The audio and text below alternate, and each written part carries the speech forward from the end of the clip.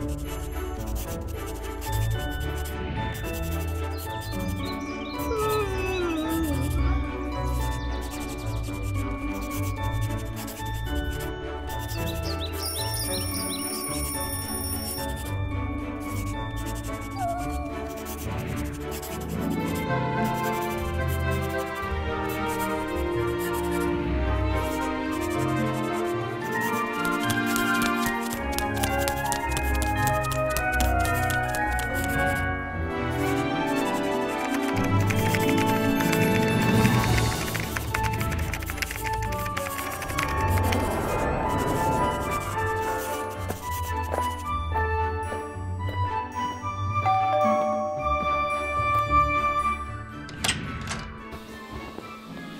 At the time of Advent, as we build up towards Christmas, I start thinking of friends and family I haven't been able to connect with for some time.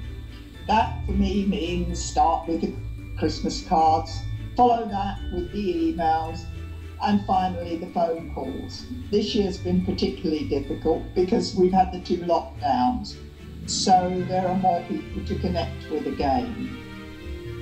Well, and I will uh, connect with my family and friends in uh, Germany, friends from the university, which shows actually how long I've been away from Germany. And uh, my family, it will be all by uh, snail mail and uh, fixed wire telephone because they don't like the internet. They're scared.